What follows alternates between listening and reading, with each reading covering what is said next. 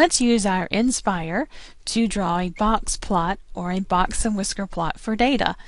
I'm going from my home screen to choose choice number one, which is a new document, and then add a list and spreadsheet page, which is choice number four.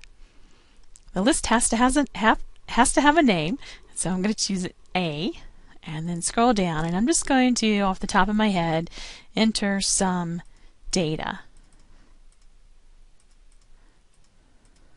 And I want uh, enough points here to kind of produce a good graph. So let me just add maybe 15 or so values.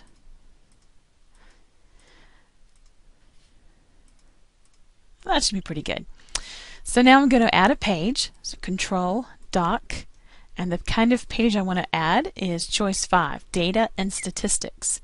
And when I click towards the bottom of the screen and add that list A, I see the dots arrange themselves in a dot plot. I don't want a dot plot, I want a box plot. So I choose menu and then choice number one, which is plot type, and then choice number two, which is box plot. And I see the dots rearrange themselves into a nice box plot. So when I use my little arrow keys and scroll a little bit across the screen, I see the minimum value for this particular data set is a 2.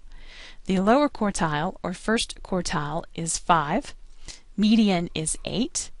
The upper quartile or third quartile is 10. And then finally the maximum value in this particular data set is a 12.